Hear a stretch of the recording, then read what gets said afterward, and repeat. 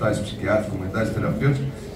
Senador, nós tivemos lá na Itália o início da, da luta antimanicomial, da deshospitalização, com a construção de uma rede de ambulatórios, etc.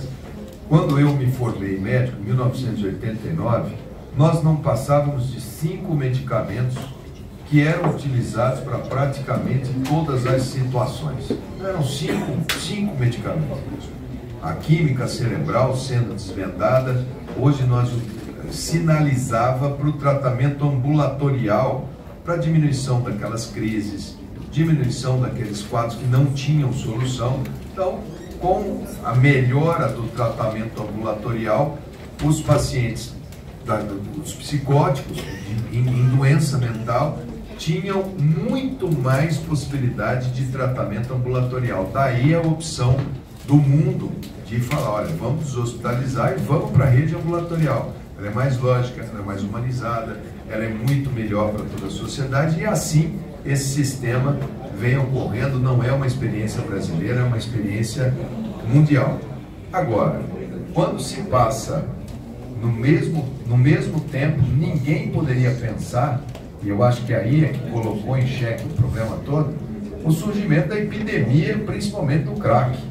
O crack é uma droga extremamente aditiva, produzida no país vizinho aqui, na, quase na sua totalidade, um país que virou um grande mercado consumidor, e nós tivemos um, uma, um crescimento muito grande de sofrimento mental das famílias que passaram a correntar filho em pena de de camas, enfim. E o Estado fechou os leitos, não tinha o que oferecer, a sociedade se organizou, principalmente através das igrejas, é, como a, a, a, as comunidades terapêuticas, elas são, no mais das vezes, elas são é, instrumentos de, de, de apresentação de fé, para que através da fé a pessoa consiga a, a libertação do índio. As populações ribeirinhas lá do seu estado, quando passam os, as pessoas que estão na saúde indígena, elas falam, poderia nos atender também? Não, eu só atendo a saúde indígena. Então, nós temos que saber que é uma população que a gente precisa trabalhar, que a União quer chegar até ela com melhor qualidade. Eu não posso, eu não posso entender que a epidemia de sarampo no seu estado, na Roraima, tem entrado na migração dos venezuelanos exatamente pela população indígena. Ora, se a gente sabe que desde que Cabral chegou aqui, que os índios padecem de doenças infecciosas dos brancos, pela falta de vacinação, e nós temos uma estrutura desse porte. Eu não tenho problema com o tamanho do recurso em saúde indígena.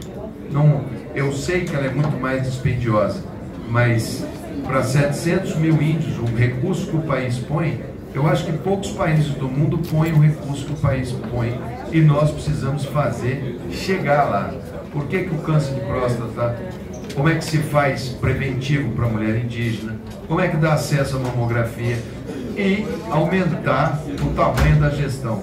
Aquisição de equipamentos em números superlativos, superfaturamentos, controle do espaço aéreo, voos, aeronáutica tem expertise sobre a Amazônia, já tem um grande sistema, por que não deixar que ela faça isso para o Ministério da Saúde? É interromper? Não, é discutir, discutir modelos. Roraima é impossível falar, não é nem municipalização. O Estado de Roraima, mesmo se fosse com o Estado, o Estado lá também não tem condições de garantir. Lá é União mesmo, toda a área amazônica. Agora, dentro da cidade de São Paulo, dentro da cidade você tem uma aldeia indígena chamada Jaraguá. É, será que a gente precisa a união para nossa maior cidade? Será que há necessidade? É essa discussão que a gente tem que colocar. Lá no Rio Grande do Sul, com 500 anos de convivência, com as pessoas morando dentro das cidades, frequentando a unidade básica de saúde do seu bairro, vamos alocar o recurso para melhorar o sistema de saúde, mas precisa ser um sistema centralizado em Brasília? Essa discussão é que a gente vai ter em relação à saúde indígena, não há nada diferente. E quanto ao pagamento das ONGs,